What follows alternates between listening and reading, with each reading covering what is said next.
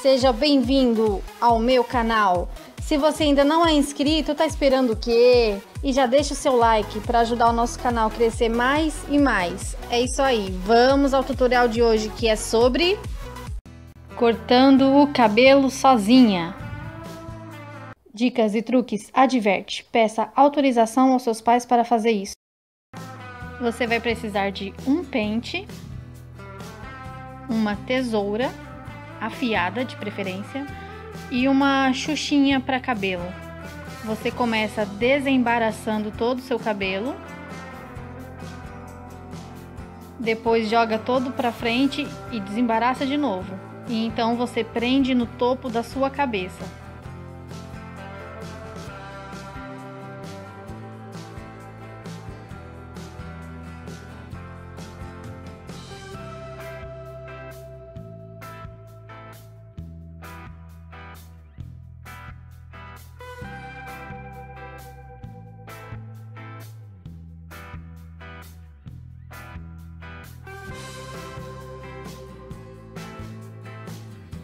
Então você faz a medida que você quiser. Eu geralmente tiro só quatro dedos porque não mexe no tamanho.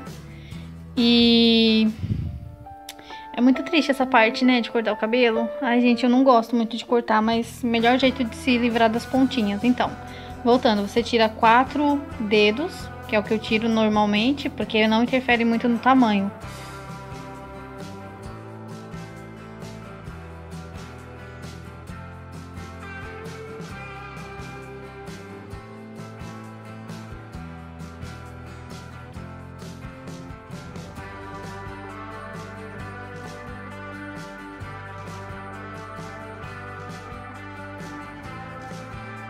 Aí você joga o cabelo para trás ele fica todo repicado.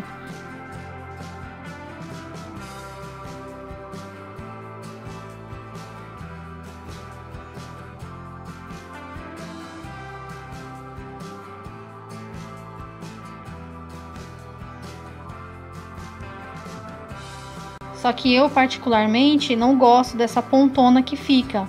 Então, além de cortar assim, eu vou cortar de outro jeito também. O outro jeito você vai precisar de novo do pente e da tesoura. Vai dividir o cabelo ao meio, vai desembaraçar novamente. Confere se tá dividido ao meio mesmo.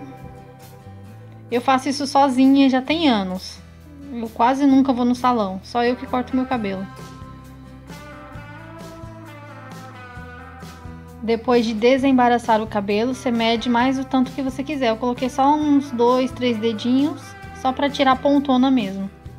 Isso é triste, cara. Isso dói. Dói na alma, eu sei. Mas é preciso. Adeus, pontinhas velhas e queimadas. Mesma coisa do outro lado.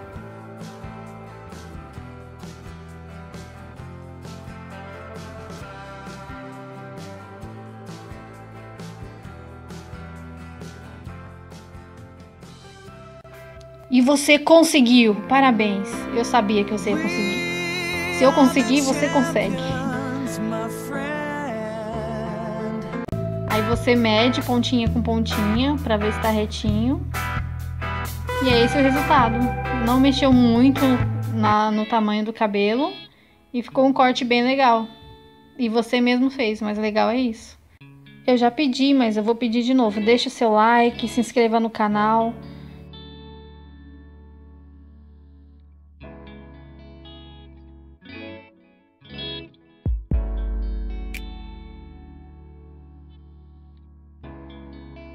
Obrigada por ter visto o vídeo até aqui. Beijo, tchau. Até o próximo vídeo com mais um tutorial.